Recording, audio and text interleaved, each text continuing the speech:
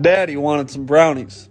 Why are you eating on the couch? Are you eating or playing with that food, you dumbass? How you feeling? Pretty good.